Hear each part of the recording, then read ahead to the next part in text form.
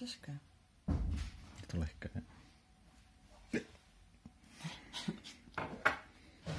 Předtím zajebem jak ty hovada. Myslím, že jsme si to házeli.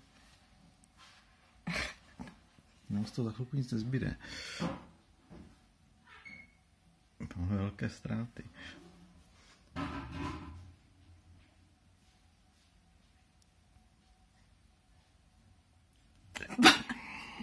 No prosím. Ti teď asi úplně nepomůžu, že?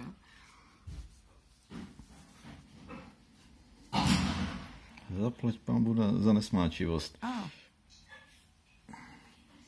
Ty jsi smáčivější, na tobě se to nějak víc drží. Začíná to být nějaký horký. ne, Mhm. ne. To začne hořet. Víst.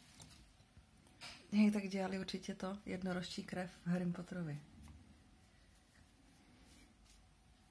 Ne, to nemají zabili jednorožce. Jo, myslíš? Mm. Pozabíjali je? Už, už nejsou. No, byli a nejsou, že?